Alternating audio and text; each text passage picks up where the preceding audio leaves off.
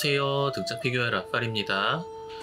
오늘은 알터사의 츠유리카나오 들고 왔어요. 귀멸의 칼날의 츠유리카나오.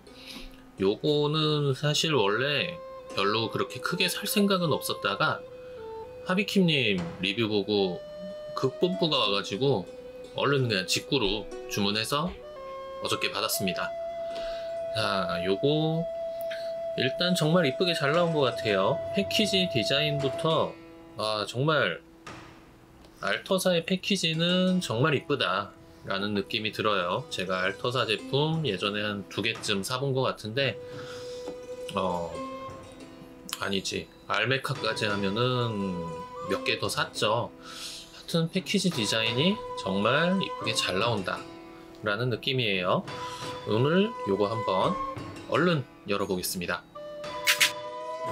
자, 카나오 꺼내봤고요. 일단 하오리를 입혀주지 않은 모습. 어, 전체적으로 봤을 때 일단 동색 굉장히 이쁘게 잘 나온 것 같고요.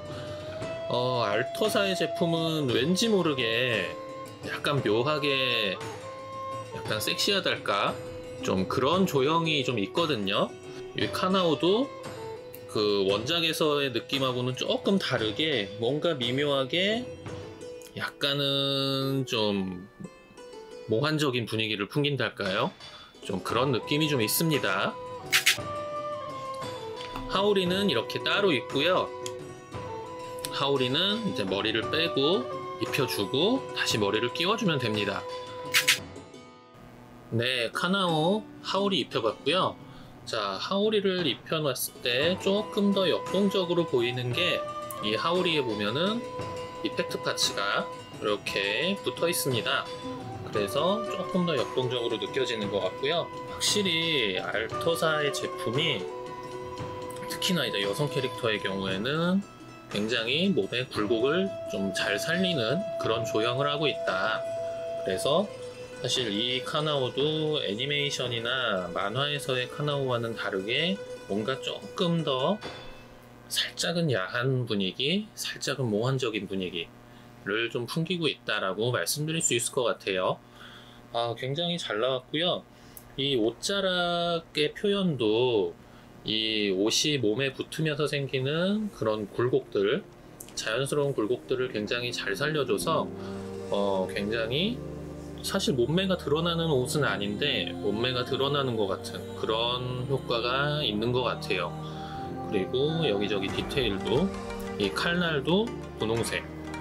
자, 칼도 굉장히 이쁘게 잘 돼 있고 음, 얼굴 굉장히 이쁘게 잘 나왔어요. 그리고 머리에 요 머리에 나비 나비 모양 요 악세사리도 표현이 잘 돼 있고 음, 이 자세도 굉장히 잘 나왔습니다. 자세 굉장히 잘 나왔고 그렇게 과하지 않은 이펙트 파츠들 이 그래도 이 분위기를 조금 더 살려주고 있다라고 말씀드릴 수 있을 것 같아요. 자 오늘 알터사의 츠유리 카나오 귀멸의 칼날 피규어 살펴봤고요.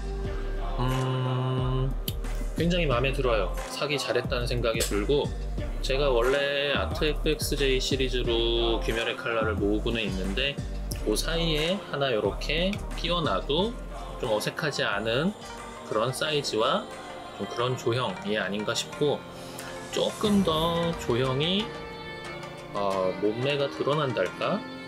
좀 그런 조형이에요. 그래서 어쨌든 굉장히 마음에 들고 좀 알터사다운 좀 그런 제품이 아닌가 하는 생각이 듭니다. 음, 알터사의 제품이 제가 몇 개 사본 걸로는 은근히 좀 여성성을 어필하는 좀 그런 조형을 하고 있거든요. 그런 동세도 하고 있고 좀 그런 맥락에서의 카나오가 아닌가 하는 생각이 듭니다. 자 오늘 여기까지 등짝 피규어 라팔이었고요. 시청해주셔서 감사합니다. 다음에 또 뵐게요. 안녕